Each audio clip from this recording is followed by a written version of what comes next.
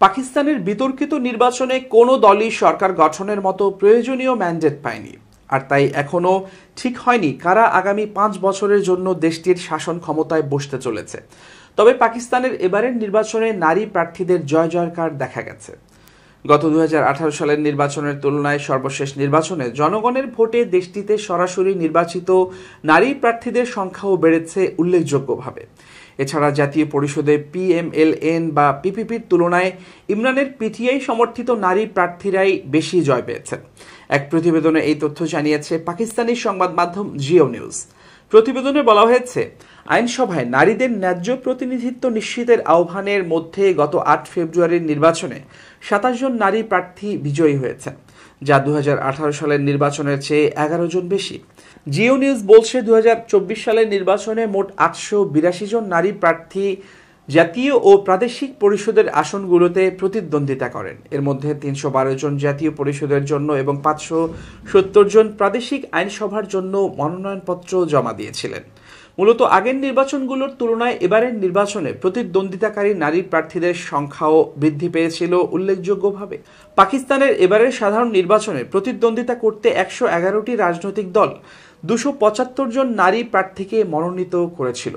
এছাড়া এই একশো এগারোটি রাজনৈতিক দলের মধ্যে ত্রিশটি দল সাধারণ আসনে পাঁচ বা পাঁচ শতাংশের বেশি নারী প্রার্থী দেয়। আর চারটি রাজনৈতিক দল সাধারণ আসনে চার দশমিক পাঁচ শতাংশ থেকে চার দশমিক নয় শতাংশ নারী প্রার্থীকে মনোনয়ন দিয়েছিল। এর আগে দু হাজার আঠারো সালের রেকর্ড। একশো তিরাশি জন নারী পাকিস্তানের জাতীয় পরিষদের সাধারণ আসনের নির্বাচনে প্রতিদ্বন্দ্বিতা করেছিলেন এবং তাদের মধ্যে মাত্র আটজন জয়ী হতে পেরেছিলেন। বিজয়ী নারী প্রার্থীদের মধ্যে চারজন সিন্ধু প্রদেশে তিনজন পাঞ্জাবে এবং একজন বেলুচিস্তানে জয়ী হয়েছিলেন। আর খাইবার পাক্তুন খাওয়াতে কোনো নারী প্রার্থী সে সময় সাধারণ আসনে জয়ী হয়নি। আর সাতজন প্রার্থী সে সময় প্রাদেশিক আসনে জয়ী হয়েছিলেন। যার দুজন সিন্ধু আইনসভায় এবং পাঁচজন পাঞ্জাব বিধানসভা থেকে নির্বাচিত হয়েছিলেন। আর দু হাজার তেরো সালে নারী প্রার্থীর সংখ্যা ছিল একশো পঁয়ত্রিশ জন। তবে এবার রেকর্ড, সাতাশ জন নারী প্রার্থী নির্বাচিত হয়েছেন।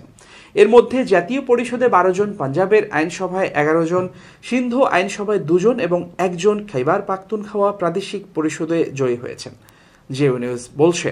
দু হাজার চব্বিশ সালের জাতীয় পরিষদের নির্বাচনে প্রতিদ্বন্দ্বিতা করে সফল হওয়া নারী প্রার্থীদের মধ্যে চারজন নওয়াজ শরীফের পিএমএলএন এর মনোনয়নে প্রতিদ্বন্দ্বিতা করেছিলেন। তারা হলেন সিজরা, মানসাব, খাড়াল, মরিয়ম, নওয়াজ শরীফ, বেগম তেহমিনা, দুলতানা এবং নসীন ইফতেখার।